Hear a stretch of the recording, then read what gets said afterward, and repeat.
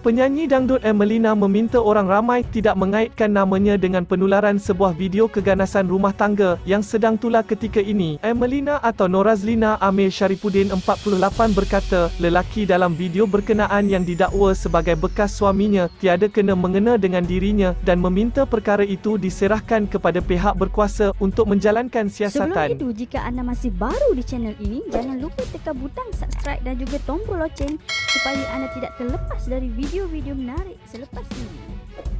Saya tak mahu komen kerana hal itu tiada kaitan pun dengan saya tentang video tersebut. Biarlah pihak berkuasa yang buat siasatan, katanya. Dalam pada itu, Emelina menjelaskan sekiranya benar lelaki dalam video berkenaan adalah bekas suaminya sekalipun, dia enggan masuk campur kerana mereka tidak lagi mempunyai sebarang kaitan. Katanya lagi, dia sudah melupakan semua perkara tentang kehidupan lampaunya dan kini mempunyai kehidupan baharu bersama anak-anak. Sama ada dia suami saya atau tidak, itu adalah adalah perkara lama. Semua kisah lama saya dah buang dan sekarang saya bersama anak-anak mempunyai kehidupan baru jelasnya. Tambah Emelina, dia berharap namanya tidak dikaitkan dengan insiden tersebut kerana ia boleh membuatkan dia terkenang kenangan pahit. Minta maaf, bukan saya tak kesian tetapi apabila namanya disebut-sebut secara tak langsung ia menggamit memori lampau yang tidak mahu saya ingat lagi, katanya. Terdahulu, tular sebuah rakaman memaparkan seorang wanita menjadi mangsa keganasan rumah tangga dipercayai dilakukan oleh suaminya sendiri. Saksi yang memuat naik video berkenaan di laman sosial mendakwa, lelaki berkenaan adalah bekas suami kepada penyanyi dangdut terkenal dan netizen mula membuat spekulasi ia adalah Emelina. Untuk rekod, Emelina pernah berkahwin dengan Reduan Mahamud pada 26 April 1999 sebelum bercerai selepas 17